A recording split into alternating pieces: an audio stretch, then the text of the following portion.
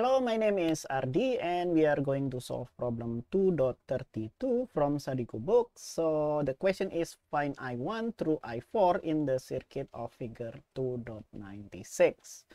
And this is the figure and let's just define dive in into it. Uh, I want to set this node here as our ground and maybe name this node here as node A. I think there is no other node here. So we can apply KCL at node A. KCL at node A.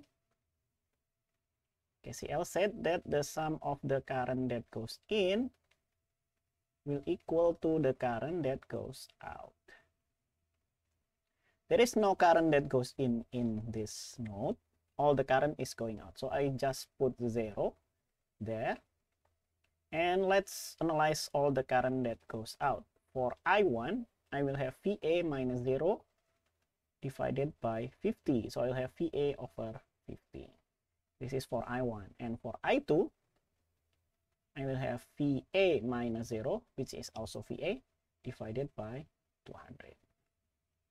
And for I3, I will have VA minus 0 divided by 40. So I'll have VA over 40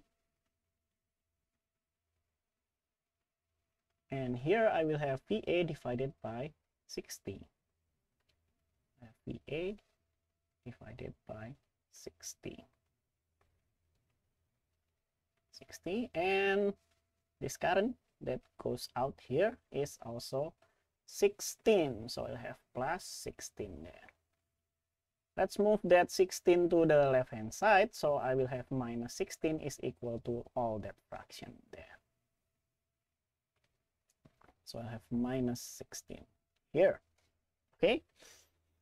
Mm, and I just want to use this one. Minus 16 is equal to VA, then multiplied by 1 over 50 plus 1 over 200 plus 1 over 40 plus 1 over 60. And so we can calculate VA we can calculate VA and that means that VA is minus 16 divided by all of that fraction. 1 over 50 plus 1 over 200 plus 1 over 40 plus 1 over 60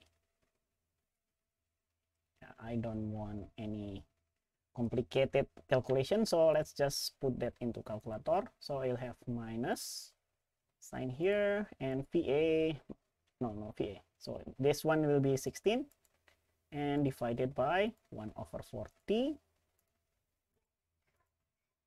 and then plus 1 over 200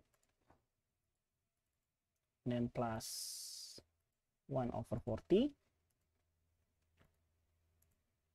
and then plus 1 over 60 1 over 60. So I will have minus 240. And the unit will be volt, but the question is not asked about VA. The question is asked about I1, I2, I3, and I4, but this can be easily calculated. So I will have I1 is VA divided by 40 a divided by 40 so I will have minus 240 divided by 50 and that means that I will have minus 4.8 ampere. That is for I1 and for I2 similarly I will have VA but this time divided by 200 and so I will have minus 240 divided by 200 or that will equal to minus 1.2 ampere. And for I3, I will have VA divided by 40. Minus 240 divided by 40. That should be minus 6 ampere. And lastly, I will have I4. That will be VA divided by 60 so I will have minus 240 divided by 60 and that should be minus 4. And I think we have solved the problem. So we have I1, I2, I3, and I4. Hopefully this helped you and I did not make any mistakes. Let me know if I did make uh, mistakes in the comments and see you in the next video. Bye bye.